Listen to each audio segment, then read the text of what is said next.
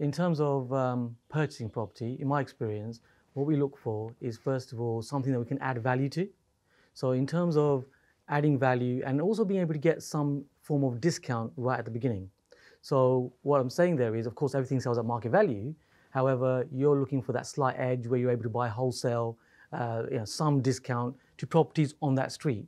So, by buying at, a, at some form of discount and adding value, what you'll find is that um, you know you can really uh, get that property to appreciate uh, its value itself uh, amongst you know other properties on that street. So in effect, what you've done is you've built in a discount.